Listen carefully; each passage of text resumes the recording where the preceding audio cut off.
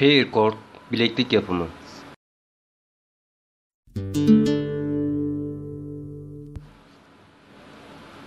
Hazırlayan ve sunan Takı Tasarım Atölyesi.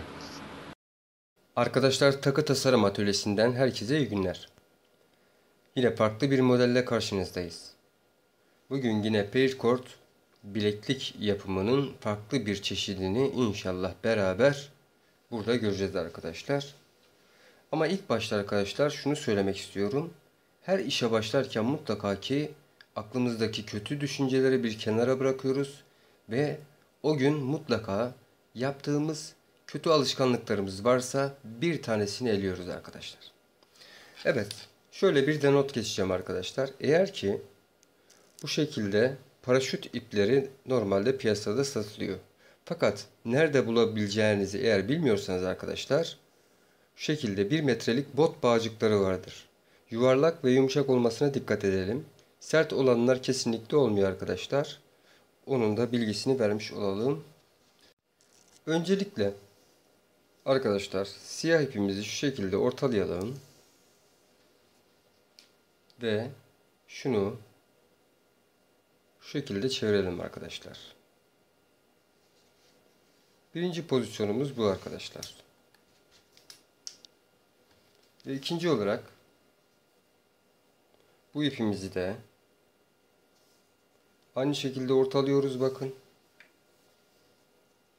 Ve bunu da şuradan arasından bu şekilde geçiriyoruz arkadaşlar. Evet. Ve şimdi bir daha bu ipimizi doluyoruz arkadaşlar. Ve şunun mesafesini biraz küçültüyoruz. Şöyle çektiriyoruz arkadaşlar. Pozisyonumuz bu arkadaşlar. İlk başlangıç. Ve şimdi arkadaşlar şu şekilde iplerimizi aldıktan sonra şu şekilde bir bakın şöyle yaptık.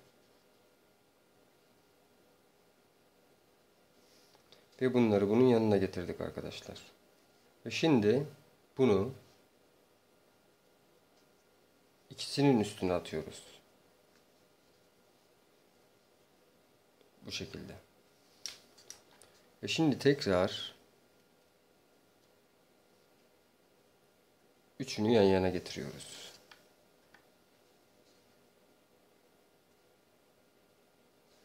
Tekrar siyahı alıyoruz.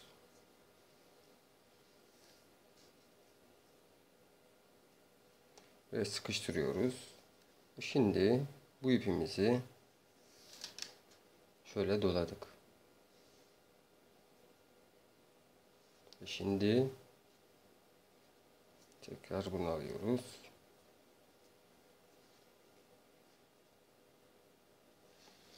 Ve siyahımızı alıyoruz. Bu modelde arkadaşlar her zaman bu tarafta iki tane ip kalacak.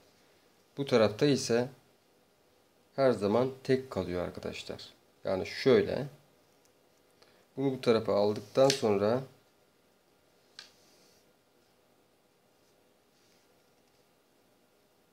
Bunu buraya alıyoruz ve burası 3 oluyor. Burası tekli kalıyor arkadaşlar.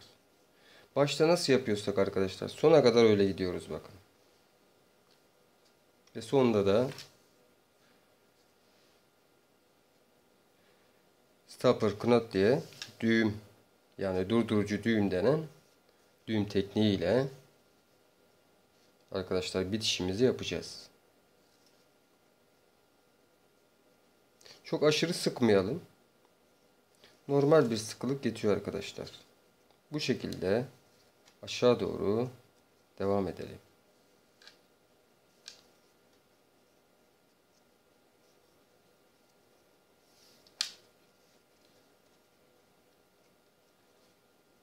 Bakın şeklimiz ortaya çıkıyor bile. Çok fazla sıkıştırırsanız kalıp gibi olur. Bu sefer düzgün durmaz aralardan sırıtabilir arkadaşlar. Çok hafif bakın sıkıyorum. Üste dursun. Buradan çıkmasın yeterli.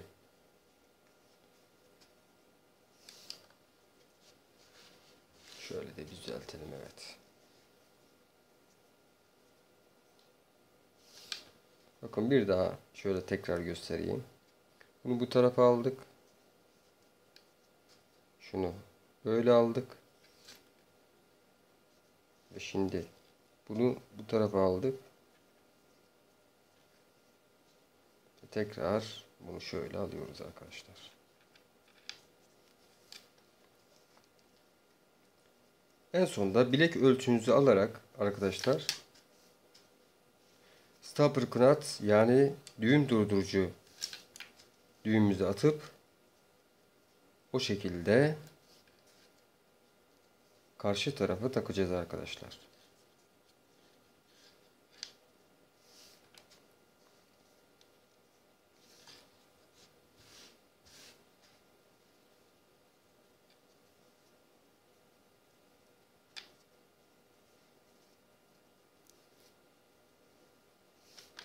Evet. Arkadaşlar şimdi düğümümüze geçelim hemen. Bu şekilde iplerimizi tuttuktan sonra şu ipimizi şöyle alıyoruz arkadaşlar. Bunu da bunun arasından karşılıklı geçiriyoruz bakın. Ve şimdi bunu alıyoruz. Ve şimdi tekrar şu şekilde yapıyoruz. Şimdi tekrar pardon bu şekilde aldıktan sonra arkadaşlar pozisyonumuz bu şekilde oluyor. Özür diliyorum. Hemen yakınlaştıralım bir daha. Evet. Buna stopper knot deniyor arkadaşlar. Yani durdurucu düğüm adı veriliyor. Bakın şimdi. Şu iki tanesini yan tarafa aldık. Bu ikisi de burada. Şimdi bunu şu şekilde alıyoruz. Şunu şu tarafa aldırıyoruz. Arkadaşlar bu burada kalıyor. Şu şekilde durduktan sonra şuraya açıyoruz. Ve bu sefer bu ipimizi daha net görmeniz için şöyle yapalım. Şuradan takıyoruz arkadaşlar. Sadece bir ipi geçiriyoruz bak. Şimdi şunu şöyle eşit miktarda her tarafını çektiriyoruz.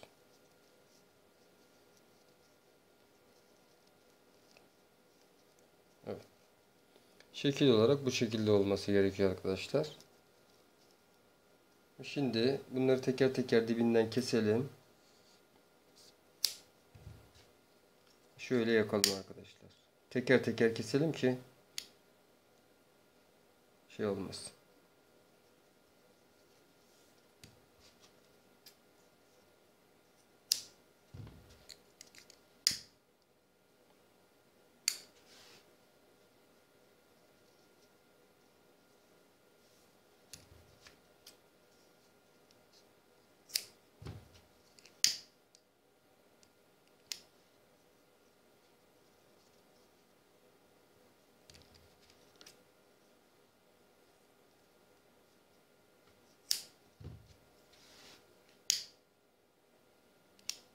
Evet.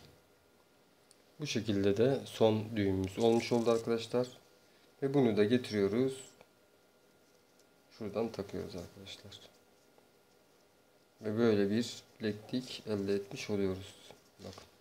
Kameram niye böyle? Hı. Bu şekilde bir bilekliğimiz olmuş oluyor arkadaşlar.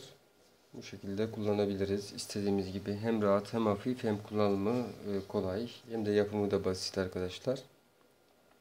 Dediğimiz gibi bir aktivite yaparken mutlaka ki kafamızdan kötü düşünceleri atıp her zaman iyi şeyler düşünmeye çalışalım arkadaşlar. Böyle yaparsak hayat her zaman güzel olur. İnsanları sevmeye çalışalım. Sevelim de. Sevmediğimiz insanlar bile varsa onları da sevelim arkadaşlar. Ve hayatımızı bu şekilde güzelliklerle ve mutlu bir şekilde, huzurlu bir şekilde yaşayalım gitsin arkadaşlar.